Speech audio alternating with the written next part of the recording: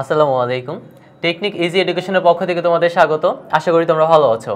তো আজকে আমি তোমাদের নবম, দশম শ্রেণির সাধারণ বিজ্ঞান বইয়ের পলিমার থেকে একটা সৃজনশীল সলভ করাবো, যেটা এসেছিল দিনাজপুর বোর্ড, চট্টগ্রাম বোর্ড সতেরো সালে। সো দুইটা বোর্ডের কোয়েশ্চেন একসাথে পড়াচ্ছি সো অনেক ইম্পর্টেন্ট তো ফার্স্টে তুমি দেখো একদম সিম্পল একটা কোয়েশ্চেন কারণ গত ক্লাসের যে কোয়েশ্চেনটা ছিল, যশোর বোর্ডের কোয়েশ্চেনটা এটা একটু টাফ ছিল বাট এই কোয়েশ্চেনটা একদমই সিম্পল ওকে আর বিশেষ করে এই চ্যাপ্টারটাতে বেসিক্যালি আমি আবারও বলতেছি যে এই চ্যাপ্টারটা হচ্ছে বস্ত্র, আর হচ্ছে বিশেষ করে আমাদের যে দৈনন্দিন জীবনে যে পণ্য সামগ্রীগুলো ব্যবহার করি, সেগুলো নিয়ে কিন্তু এখানে অ্যাকচুয়ালি অ্যানালাইসিস করা বা আলোচনা করা। সো এখানে তুমি দেখো যে একটা মানুষের বিভিন্ন জায়গায় তুমি যখন যাবা, কোনো একটা অনুষ্ঠানে কিংবা কোনো একটা প্রোগ্রামে অ্যাটেন্ড করবা, তখন সবচেয়ে বেশি যেটা প্রায়োরিটি থাকে সেটা হচ্ছে তোমার ড্রেস আপের ওকে তারপরে তুমি দেখো আবার বিশেষ করে শীতকালে কোন ড্রেসটা পরবো, গরমকালে কোন ড্রেস পরবো বা কোন ঋতুতে কোন ড্রেসটা আমাদের জন্য অ্যাডজাস্টেবল হবে, এটা নিয়ে অনেক ধরনের চিন্তা বা জল্পনা কল্পনা আমাদের মনের মাঝে ঘুরতে থাকে। সো কোনটা কোন ঋতুতে পারফেক্ট সেটাও কিন্তু জানার ব্যাপার। অনেক সময় এমন হয় যে, অনেক প্রখর রৌদ্রে তুমি কালো একটা ড্রেস পরে আসো। দেখবে যে একদম সিদ্ধ হয়ে গেছো। কারণ কি? কারণ সেখানে অনেক পরিমাণে গরম লাগবে কালো কাপড়। আর বিশেষ করে আবার দেখে গেছে শীতকালে যে এমন হয় যদি কেউ সাদা কালার কোনো ড্রেস পরে, তাহলে দেখবে যে তার কিন্তু শীতের প্রখরতা একটু বেশিই থাকবে। কেন? কারণ সাদা কালো কাপড়টা হচ্ছে কি করে? মানে তাপ সরিয়ে দেয়। তো এই জিনিসগুলো কিন্তু আমাদের জানা আবশ্যক, ঠিক আছে? তো বেসিক্যালি এই অধ্যায়গুলোতে কিন্তু সেই জিনিস নিয়ে আলোচনা করা হবে। যেমন আমরা অনেক সময় যখন মার্কেটে কোনো ধরনের শার্ট বা আদার্স কোনো কাপড় চোপড় কিনতে যাই, তখন দেখে গেছে আমরা নিজেরাও বুঝি না যে সংকুচিত থাকি যে হ্যাঁ কোন কাপড়টা কিনবো বা কোন কাপড়টা ভালো হবে এই ঋতুর জন্য, ঠিক আছে? তো এই ধরনের বা কোন কাপড়টা বেশি মানে দামি বা কোনটা কম দামি, এটাকে ভালো কিংবা এটা মন্দ ঠিক আছে?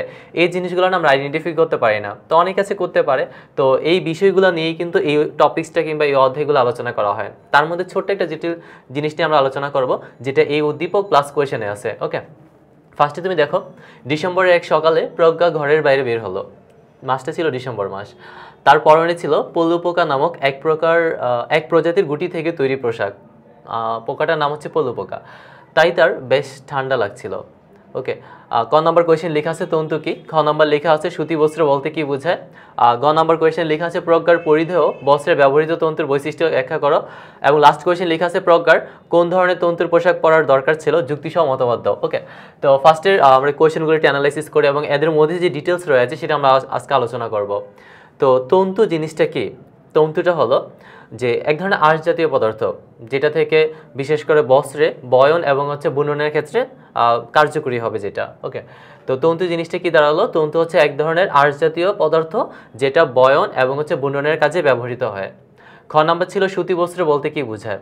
সুতি বস্ত্রগুলো সাধারণত তুলা থেকে তৈরি করা হয়, আর এই তুলা যখন সংগ্রহ করা হবে, তুলার মাঝে একটা লোমেন মানে যেটাকে বলা হয় গহব্বর, কি বলা হবে? লোমেন, শব্দটা হচ্ছে আমি লিখে দিচ্ছি, দেখো। লোমেন। তো এই যে লোমেন রয়েছে এটা হচ্ছে এক ধরনের গহব্বর ঠিক আছে? তো এই লোমেনটা বিশেষ করে যখন এই সুতাটাকে সরি তুলাটাকে তোমার রোদ্রে দেওয়া হয়, তখন দেখে গেছে তুলাটার এই লোমেনের যে ফাঁকা জায়গাটা ছিল বা লোমেন ছিল, সেটা হালকা চ্যাপটা হয়ে যাবে। অর্থাৎ এখান থেকে এটা ফাঁকা জায়গাটা ভরাট হয়ে যাবে। তো যখন তুলাকে রোদ্রে দেওয়া হয়, তখন লোমেনটা সংকুচিত হয়ে যায়, তখন তুলাটা হয়ে যাবে কি? চ্যাপটা। তো যখন চ্যাপটা হয়ে যাবে, তখন সেটা এরকম মোচরের মধ্যে থাকে এবং সেখান থেকে যে বিশেষ প্রক্রিয়ার মাধ্যমে তন্তু আহরণ করা হয়ে থাকে, সেই তন্তুটার নামই হচ্ছে কি? সুতি তন্তু বা সুতি বস্ত্র। তো সুতি বস্ত্র বলতে বোঝাচ্ছে তুলা থেকে এই পদ্ধতিতে যে তন্তু বের করা হয় সেটাকে বলা হবে সুতি বস্ত্র। যেহেতু খ নম্বর কোয়েশ্চেন এতটুকু লিখলেই হবে। গ নম্বর ছিল প্রজ্ঞার পরিধেয় বস্ত্রে ব্যবহৃত তন্তুর বৈশিষ্ট্য ব্যাখ্যা করো। আচ্ছা প্রজ্ঞা যে পোশাকটা পরিধেয় করেছিল সেটা একটা পোকা পোকা থেকে সেই তন্তুটা সংগ্রহ করা। আর এই পোকাটার নাম ছিল পলু পোকা, ঠিক আছে? আর এটার আরেকটা নাম রয়েছে ইটস নন টল যেটা হচ্ছে রেশম পোকা। তো এখন আমরা বলতে পারি যে, বিশেষ করে প্রজ্ঞা যে ড্রেসটা পরেছিল শীতকাল যেহেতু ডিসেম্বর মাস, তার মানে শীতকাল, ঠিক আছে? তো ওই ডিসেম্বর মাসে যে পোশাকটা পরেছিল, সেটা কিসের পোশাক ছিল? সেটা ছিল রেশমি কাপড়ের পোশাক। আর এই রেশমি বা রেশম পোকা থেকে কিংবা পলু পোকা থেকে সংগ্রহ করা বস্ত্রই হচ্ছে রেশমি সংগ্রহ করে যে ধরনের তন্তু সংগ্রহ করা হয় এবং এই তন্তু দিয়ে যে বস্ত্র বানানো হবে, সেটাকে কি বস্ত্র বলা হবে? রেশমি বস্ত্র বলা হবে। তো এই ক্ষেত্রে তোমাকে একটু জানতে হবে যে তার কেন ঠান্ডা লেগেছিল? ওই ড্রেসটা পরার কারণে কেনই বা এতটা ঠান্ডা তার লেগেছিল? তো একটু বলে রাখি তাহলে আমরা ফার্স্টে একটু রেশমি কাপড় যেটা থাকে সেটা সম্বন্ধে একটু বলি যে আগের জায়গায়, আগের যুগের যারা রাজা বাদশাহ ছিল, তাদের প্রধান যে পোশাকটা ছিল, জানো? সেটা হচ্ছে রেশমি পোশাক ওকে তো এখন এই রেশমি পোশাকগুলো দেখা গেছে তার রঙের জন্য হচ্ছে বিখ্যাত। কারণ প্রায় তিন শতাধিক রেশম পোকা থেকে বা তিন শতাধিক কালারের রেশম পোকা থেকে এই ধরনের রেশমি কাপড়গুলো বানানো হয়ে থাকে। এবং এইখানে মূলত এক ধরনের ফাইব্রেন নামক প্রোটিন পদার্থ রয়েছে, যেটা দিয়ে এই রেশমি কাপড় বুনন করা হয়ে থাকে। তো এখন তুমি দেখো যে এই রেশমি কাপড়ের বিশেষ একটা গুণ রয়েছে সেটা হচ্ছে তোমার বিশেষ করে অল্প জায়গায় রাখা যায়, অল্প পরিসরে রাখা যাবে তারপর হচ্ছে দেখে কুঞ্চন প্রতিরোধ ক্ষমতা একটু থাকে। আর আরেকটা সমস্যা আছে এটা, যেটা সেটা হচ্ছে যে অল্প যদি রোদের মধ্যে রাখা হয় মানে বেশি রোদের মধ্যে রাখা হয়, তাহলে কিন্তু সেটা খুব তাড়াতাড়ি নষ্ট হয়ে যায়। আর এই ধরনের কাপড় বিশেষ করে গ্রীষ্মকালে অথবা দেখা গেছে গ্রীষ্ম এবং শীতের মাঝামাঝি যে সময়টা থাকে ওই সময়টার মধ্যে পরিধান করা ভালো।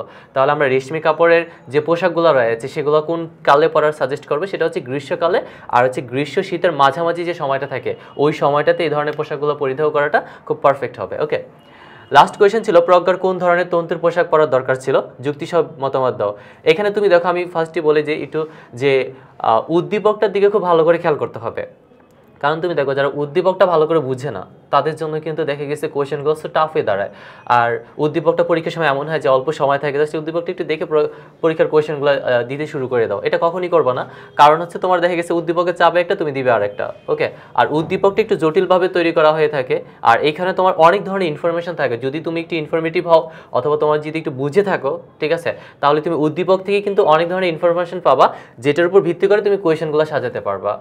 তো এখানে তুমি দেখো, যেহেতু ডিসেম্বর মাস ছিল, তার মানে তুমি বুঝতেছো, এটা হচ্ছে কোন কাল শীতকাল রাইট তো এই শীতকালে যে পোশাক পরি আমরা, দেখো শীতকালে যদি কাপলা পাতলা পোশাক পরিধান করা হয়, তাহলে কিন্তু সেটা শীত মানবে না বা শীতে আরও বেশি ঠান্ডা লাগবে। তো এই জিনিসগুলো কিন্তু আমরা অবভিয়াসলি জানি। সো এইখানে তুমি দেখো, প্রজ্ঞার যে সমস্যাটা হয়েছিল, যে প্রজ্ঞা পোশাক পরিধান করছে এবং পোশাকটা রেশমি পোশাক ছিল, খুব কালারফুল পোশাক, ঠিক আছে, বা দেখতে অনেক জোস। কিন্তু কথা হচ্ছে তার শীত কেন লেগেছিল বা ঠান্ডা কেন লেগেছিল, সেটাই জানার ব্যাপার। কারণ হচ্ছে এই রেশমি কাপড় তাপ পরিবহন অত বেশি একটা করতে পারে না। এখন কথা হচ্ছে কোন ধরনের পোশাক ওই সময় তার জন্য আমরা সাজেস্ট করব যে হ্যাঁ বিশেষ করে তুমি নিজেও পড়তে পারো যে বিশেষ করে শীতকালে যে কাপড় পরিধান করা হবে সেটা হচ্ছে পশমি কাপড়।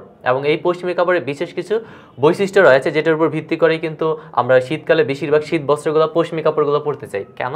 কারণ এটা হচ্ছে সবচেয়ে বড় যে ইয়েটা রয়েছে, তার গুণটা রয়েছে, সেটা হচ্ছে যে সে তাপ পরিবহন করতে পারে না। ঠিক আছে? দেখা গেছে তাপ ধরে রাখতে পারে। অল্প একটু তাপ থাকলে সেটাতে ধরে রাখবে। আর কাপড় যদি তাপ ধরে রাখে, তাহলে দেখা গেছে যে অল্পক্ষণে মাঝে সেটা গরম হয়ে হবে তখন শীতকালে সেটা গরমটা আমাদের জন্য পারফেক্ট হবে। কিন্তু তুমি যদি সেই পশমি কাপড় গ্রীষ্মকালে পরো, তাহলে সেখানে কি হবে? দেখে গেছে সে তো তাপ ছাড়বে না, সে তো তাপ ধরে রাখবে। উল্টা তুমি আরও গরম হয়ে যাবা। যদি তুমি কাউকে দেখো যে গ্রীষ্মকালে একটা পশমি কাপড় পরে আছে, একদম ভারী একটা পশমি কাপড় পরে আছে, ওকে পাগল ছাড়া আর কিছু বলা যাবে না। সো এই ক্ষেত্রে এই জিনিসগুলো আমাদের অবভিয়াসলি কি করতে হবে? জানতে হবে। তো এই যে পশমি পোশাকগুলো রয়েছে, তার কিছু বিশেষ বৈশিষ্ট্যগুলো আমরা একটু দেখি যে তার কয়েকটা বৈশিষ্ট্য সম্বন্ধে বলি। যেমন তার নমনীয়তা রয়েছে, ঠিক আছে? কিছু বৈশিষ্ট্যের জন্য সে আমাদের কাছে পারফেক্ট হয়। যেমন নমনীয়তা। এই বৈশিষ্ট্যটা কার থাকবে? পশমি পোশাকের থাকবে, ঠিক আছে? তারপর তুমি দেখো, তার রয়েছে স্থিতিস্থাপকতার বৈশিষ্ট্য। স্থিতিস্থাপকতা। আচ্ছা তার আর কি বৈশিষ্ট্য থাকতে পারে? কুঞ্চন প্রতিরোধ।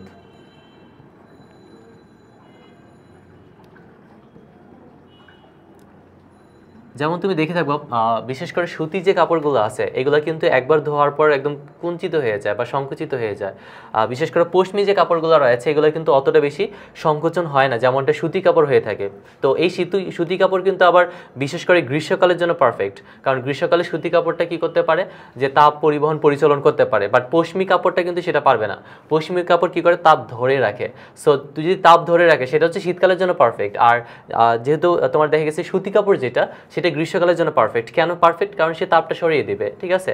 তো এখন আমরা এই সিদ্ধান্তে উপনীত হতে পারি যে প্রজ্ঞা যে ধরনের কাপড় পরবে সেটা হচ্ছে পশ্চিমী কাপড়, আর পশ্চিমী কাপড় তার পরার দরকার ছিল কারণ সেটা ছিল শীতকাল। আর এই শীতকালে যখন পশ্চিমী কাপড় পরবে, তখন সেটা তাপ, দেখা গেছে এই পশ্চিমী কাপড়ের ভিতরে তাপ ধারণ ক্ষমতা থাকে। ফাঁকা জায়গা থেকে, সেখানে ইজিলিতে তাপ মুভমেন্ট করতে পারে। তো ওই ফাঁকা জায়গাগুলোতে যখন তাপ আটকে থাকবে, তখন অল্প কিছুক্ষণের মাধ্যমে সেই পশ্চিমী কাপড়টা গরম অনুভূত হবে এবং সেটা শীতের জন্য পারফেক্ট হবে বা শীতকালের জন্য গরমটা পারফেক্ট যেহেতু। আর বিশেষ করে তার কিছু বিশেষ বৈশিষ্ট্য থাকে, নমনীয়তা, স্থিতিস্থাপকতা বা কুঞ্চন প্রতিরোধতা। তো এই বিশেষ বৈশিষ্ট্যের জন্য কিন্তু শীতকালে আমরা কি করে থাকি? পশ্চিমী কাপড়গুলো পরিধান করে থাকি। তো এই ছিল এই কোয়েশনের আলোচনা। তো আশা করি তুমি ভালো করে বুঝতে পেরেছ। আর বিশেষ করে এটা শুধুমাত্র কোয়েশন বা খাতার মধ্যে কিংবা বইয়ের মধ্যে সীমাবদ্ধ নয়। কারণ এই সাধারণ বিজ্ঞান তোমাদের বইটা এমনভাবে সাজানো, জীবনের প্রতিটা ক্ষেত্রে প্রতিটা মুহূর্তে কিন্তু কাজে লাগে। এবং বাস্তবতার যে মিল রেখে কিন্তু এই বইটা সাজানো এবং বাস্তবতার যে সমস্যার সম্মুখীন হই এবং প্রতিনিয়ত আমরা যে কাজগুলো করি, সেটা সুষ্ঠুভাবে সম্পাদন করার জন্য এই বিজ্ঞান বই তোমার সাথে রয়েছে। যেটা পরীক্ষার জন্য ইম্পর্টেন্ট প্লাস পাশাপাশি হচ্ছে তোমার জীবনের জন্য ইম্পর্টেন্ট সো এই বিজ্ঞান পরীক্ষার জন্য নয়, এই বিজ্ঞান দুইটার জন্য, পরীক্ষা এবং জীবনের জন্য। আর এই ধরনের জটিল জটিল কোয়েশ্চেন কিংবা এই ধরনের যে বিশেষ কিছু সাজেশন সেগুলো শুধু দেওয়া হচ্ছে এই টেকনিক ইজি এডুকেশনের এই ধরনের সাইটটাতে তো আশা করি আমাদের সাথেই থাকবা এবং পরবর্তী আরও কিছু আমরা ভিডিও যেখানে আপলোড করব, যেখানে আরও ভালো করে অনেক ক্লাসগুলো সাজানো হবে এবং তোমাদেরকে বোঝানো হবে। তো সেই পর্যন্ত সবাই ভালো থাকো, সুস্থ থাকো, সবার জন্য শুভকামনা। আল্লাহ হাফেজ।